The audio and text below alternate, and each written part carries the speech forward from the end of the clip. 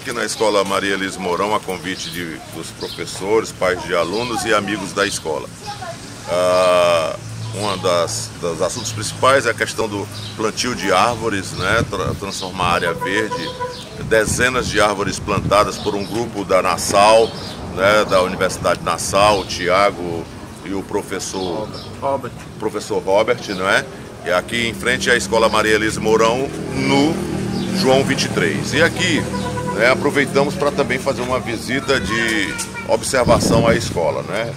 Uh, entramos para ver aqui a escola essa que já foi reformada na atual gestão e nós estamos vendo aqui a acessibilidade, que é um ponto é, importante da escola, tanto nos banheiros masculino e feminino, cadeira de roda, acessibilidade né, que a escola tem. Né, a escola infantil que tem centenas de alunos aqui em Parnaíba.